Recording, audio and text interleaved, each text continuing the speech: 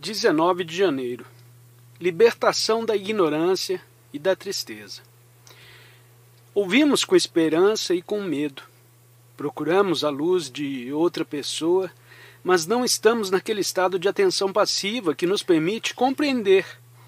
Se o liberto parece preencher os nossos desejos, o aceitamos. Caso contrário, continuamos em busca daquele que os preencherá. Aquilo que a maioria de nós deseja é a satisfação a diferentes níveis.